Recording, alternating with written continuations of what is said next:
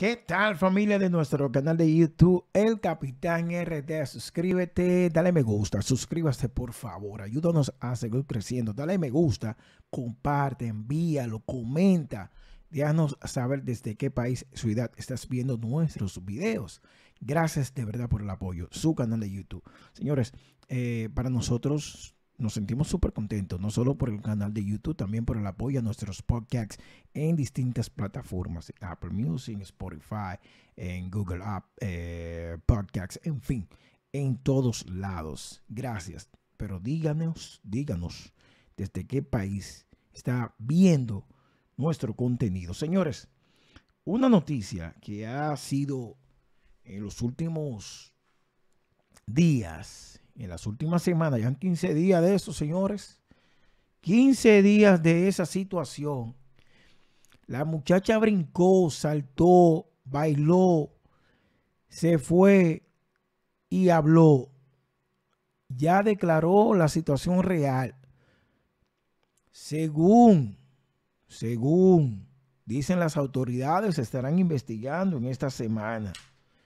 Pero ella habló desde los Estados Unidos. Estamos hablando de Briante, Briante, que lamentablemente hay exnovia de Honguito Ua, Briante, desde USA, desde USA, dice la verdad acerca del accidente.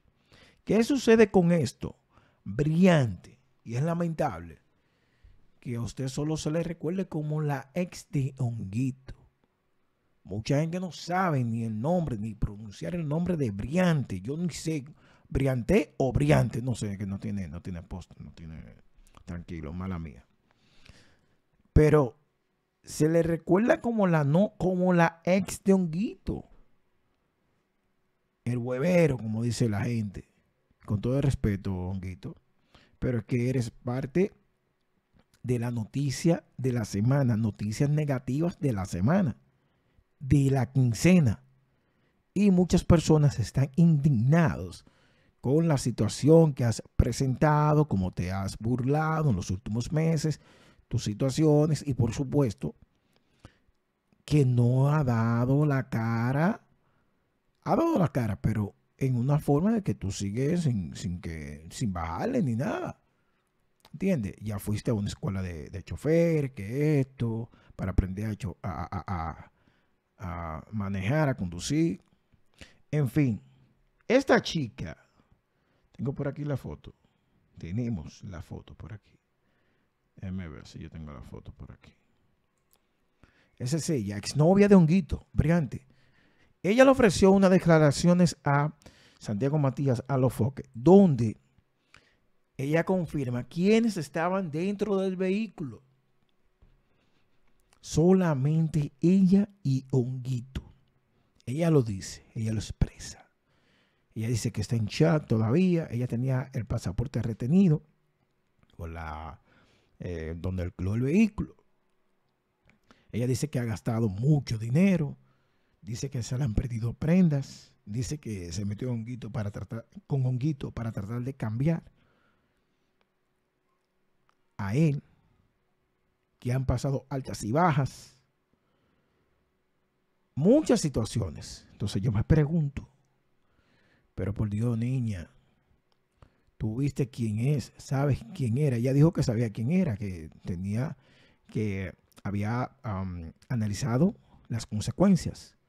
Pero ¿por qué lo haces? Lo hace por sonido. Porque, o sea, un flow, una tipa chévere. ¿Entiende? Que ha invertido muchísimo en su carrera para su sueño, como ella dice. Yo he dejado de hacer cosas, estoy trabajando, pero quiero mi sueño de artista. Entonces viene con Honguito. Ella cogió todo el sonido que ella quería. Todo el sonido que ella quería, ella lo obtuvo ahora con Honguito. Todo el sonido, o sea, nadie sabe si, y Dios quiera que te pegues y haga música durísima más dura de la que haces, que tengas la dicha de pegarte, la suerte, que Dios mediante será así. Pero mientras tanto, eh, en estos momentos, tantos momentos difíciles que se están pasando, que estamos pasando, tu sonido ha sido erróneo.